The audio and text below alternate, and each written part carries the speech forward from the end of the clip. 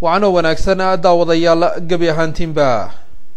suldaan ibraahim jaamac samatar waa suldaan ka mid ah salaadiinta waaweyn ee gobolka awdal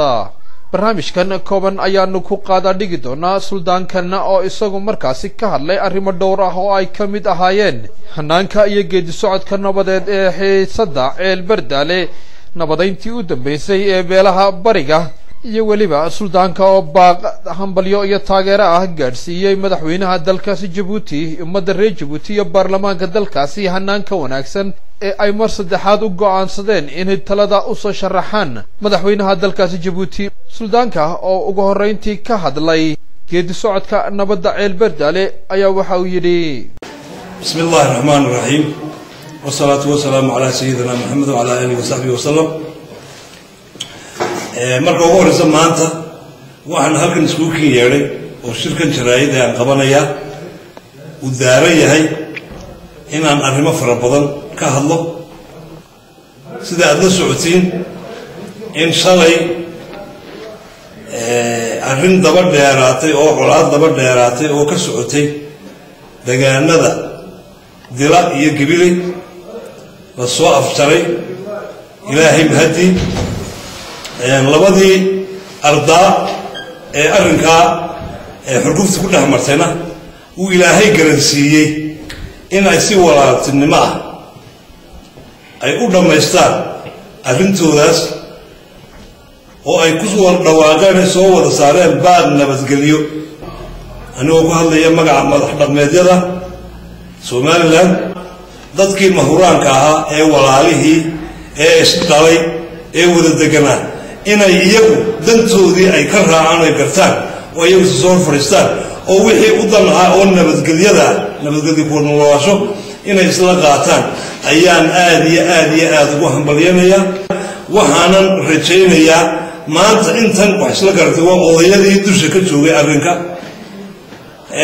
Waxaan jeclahay in dadkii colaaddu ay dhex martay ee dhallinyarada ahaa inay iyaguna nabaddaa mid lamida ee loogu dhawaaqay inay iyaguna hoos u dhaadhiciyaan oo ay ka heshiiyaan oo ay meel ku wada noolaadaan o meel wax ku wada cunaan oo beelihii ay isdhex galaan baan ugu baaqayaa inta soo qabanqaabisay iyo inta ka soo arrinkaa ka talisay ee ugu horeysa xukuumadda somalilan madaxweynaha iyo madaxweyne ku-xigeenka iyo sheekh maxamed iyo garaad iyo inta kale ee labada ardaa ee hawshaa soo qabanqaabisay xildhibaanada ku jiraan waan ugu hambalyanayaa. Waxaana leeyahay arrin guula ayaad soo kordhiseen waa guul run ahaantii u soo hoyatay degaanada gaar ahaana gebila iyo dila. Waxaananu diyaar u nahay waxaananu diyaar u nahay. Imaka afkaa laga yidhi arrinkaa inaan dhaadhicno oo baractical ay noqoto lagu dabaqo dadweynihii colaadu dhex martay. Mar horiyo mar dambana kalamaanu hadhin ee waanu ag taagnayn hawsha waanu wadnay haddii berigii kalabaydhka lagu shirayey haddii meel kastoo la fadhiyana diyaar baanu ahayn maantana waxaan leeyahay hambalyo hambalyo hambalyo waxaanan jecelahay inay noqoto bilowgii nabadda iyo dhammaadkii colaadda ayaan ugu hambalyanayaa dadweynaha kale ee reer somaliland waxaan leeyahay waa in arrin kasta oo dhex mara sidaa nabadda ah iyo walaaltinimada ah ee jiiraannimada ah ee dadka isxigaa in iyaga la isku daayo oo ay dhammaystaan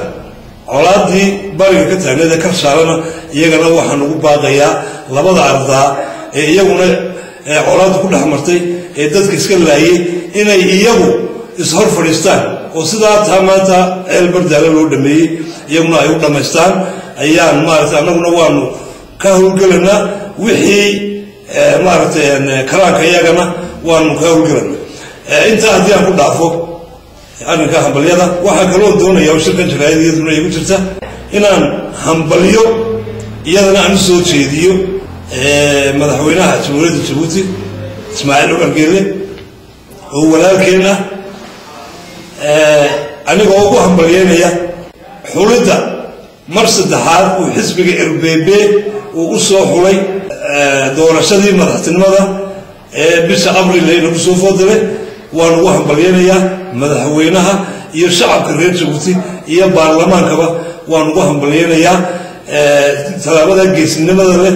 ee ay qaateen ay ku soo sharaxeen madaxweyne ismaaciil cumar geelle inuu mar saddexaad xukunka dalka uu qabto waxaa kaloon iyadana ugu hambalyanayaa baarlamaanka jamhuuriyadda jabuuti ee isna dhowaanta sida geesinimada leh ee ay muujiyeen ee ay waxkabedelkii dastuurka dalka loogu bedelay in muddo saddexaad uu soo sharixi karo. Taana waan ku hambalyanayaa baarlamaanka jabuuti iyo shacabka reer jabuuti ee sida geesinimada leh iyaguna ku taageeray. Waan ugu hambalyanayaa waxaan leenahay dad walaalaaynu nahay dad isdhalay baynu nahay xaggan iyo xagganba wada jooga. Waxaanu idiin soo jeedinaynaa madaxweynihiina ismaaciil cumar geelle in doorashada sanadka in aad ugu dadaashin sidii uu ugu suurtogeli lahayd inuu mar saddexaad ku soo noqdo hogaanka dalka annaguna haddaan nahay madax dhaqmeedyada somalilan waan ugu hambalyanaynaa hiil iyo hoo ayaanu la garab joognaa sidii ay ugu suurtogeli lahayd jamhuuriyadda jabuuti in hogaamiyahoogu uu mar saddexaad hogaanka dalka ku soo noqdo. Waxaanu aada iyo aada ugu mahadnaqanaa madaxweynaha iyo shacabka reer jabuuti sidii diiranayd ee ay u soo dhoweeyeen madaxweyne maxamed siiraayo markii uu booqashada ku tegay ee jamhuuriyadda jabuuti gaar ahaan magaalada jabuuti taasina waxay tusaysaa sida walaaltinimada leh ee aan haddii aan nahay shacabka jabuuti iyo shacabka somalilan aan iskugu xidhan nahay waxaa kaloo farxad noo ah in dowladda cusub ee somalilan iyo shacabkeeguba ay diyaar u yihiin inay sii xoojiyaan xidhiirkii saaxiibtinimada lahaa ee ka dhexeeyey labada dal. Intaas ayay maanta aan ku soo koobayaa. Shirkaa jiraadana qabtay. Waanad mahadsantihiin qolyada saxaafaddu. Wasalaamu calaykum waraxmat ullaahi wabarakaatu